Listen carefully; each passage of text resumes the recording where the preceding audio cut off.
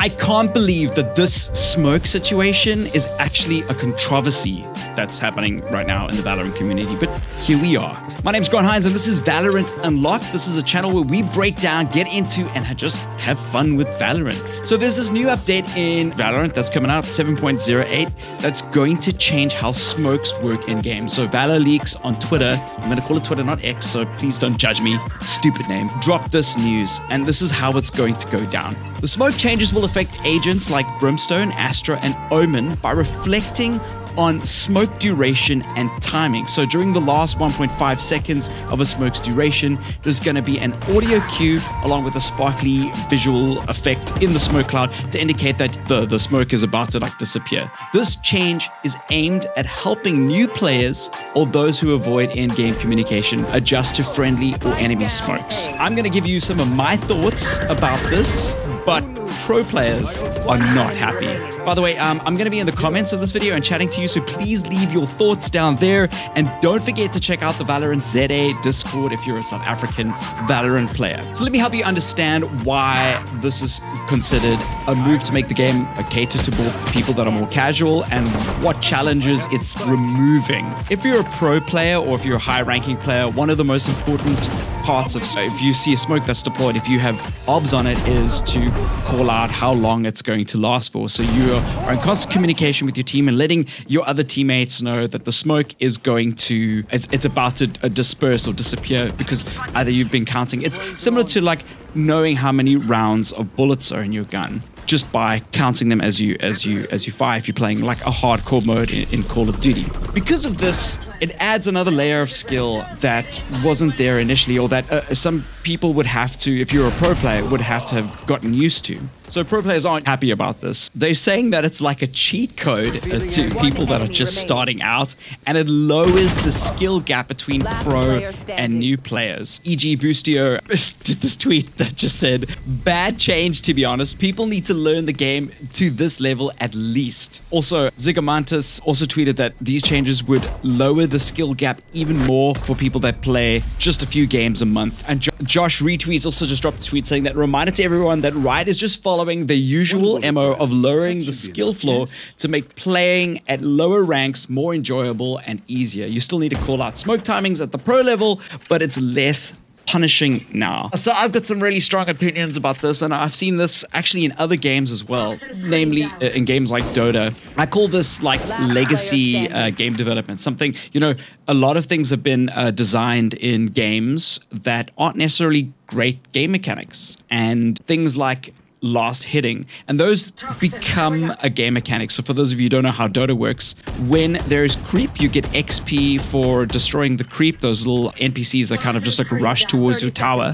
And if you are the last person to kill, your hit is the last person to kill that particular creep, you get that XP and you get some cash out of it. It's called last hitting. But it's this weird, it's this weird thing that was like it kind of came over from War 3, the mod that it was based on, and it's just like this game mechanic that wasn't intentional but became something that players had to master. And then when League of Legends came out, they kind of did away with that because in the in the game developers' minds, that isn't a great game mechanic. Uh, there's a lot of debate about that, uh, but I understand why you would exclude that game mechanic from a new game that you're building because it's just legacy architecture that became a game mechanic and something that you had to master by virtue of it being there. And I feel very similar similarly about about this. I think smoke timings. I don't think that that was a consideration that the, that the developers had. And adding visual cues is just a quality of life thing. You know, there are so many other skills that you need to master in order to be good at Valorant aiming, recoil. Like those aren't things that make the game easy. And also, like, there's this there's this tweet by JWoo that I just want to bring up that one of the most unnecessary changes that I've seen to lower the skill ceiling of a game to cater to casuals, in my opinion. And I kind of understand. I have a very similar opinion to this that I don't think it's necessarily something that's going to lower the skill ceiling for casual players. It's making the game more polished you know, that isn't a skill that needs to be mastered, if that makes sense. Like a real life equivalent for me would be if you had to play, I don't know, uh, football on, you know, like rocky asphalt. Like you don't if you put if you make the field grass, right, that that is that is a, a quality of life thing for the players. Like rather let them master that. There are so many other things that are going to you're going to have to master even though that you've got this this thing that makes a random thing like a little bit easier to understand. And in game design, it's it's visual literacy. It's you know knowing how many like how much health your opponent has or audio cues of your gun when your when your cartridge is running out. And I actually want to come back to that because the degree of this thinking is that all the visual cues, the mini map, the number of bullets that are displayed in your cartridge in the bottom right hand side of the screen, like all of those things can also be removed, right? They can also, and then you can also count your bullets in your cartridge, and that will increase the skill ceiling, I guess. You know, players who can do this random skill uh, in game or have mastered this random thing can be better at it, but it doesn't make the game better right? You want to push players to to perform better and do things better and also have more fun playing the game. And I think that the pro scene has just missed that missed that thinking. You know, understand that they have gotten used to a certain way of playing the game, but that isn't how this game is going to be forever. And video games now are evolving. It's, it's games as a service now, right? So that one thing isn't gonna define the game as it goes forward. Look at Overwatch. You know, Overwatch 2 comes out. Well, actually, during Overwatch 1, you they knocked it down from six players to uh, to five players. Got rid of one of the tanks, so there's only a single tank.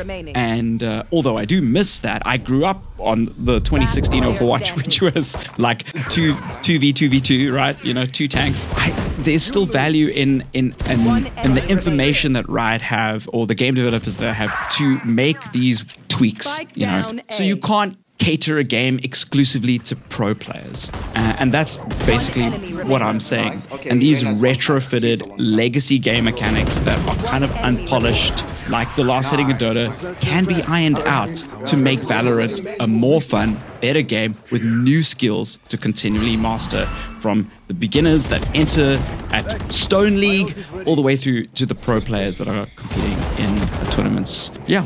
What do you think? Is this something that you, you know, do you feel strongly about it? Do you think this outrage is really stupid, like myself? And do you see that? And do you agree with me that these games are continually being polished and finished. And the, the, game that we are playing today, the Valorant that we are playing now, is not going to be the Valorant that we're going to be playing in a year's time. And arguably, hopefully, will be getting refined and getting better. Thank you so much for watching this video. If you liked it, please hit that like button and uh, subscribe. Please share this with a friend who's, you know, going to benefit from hearing this. If you're in a, an argument yourself with everybody, I'll, I'll check you guys another video. Cheers.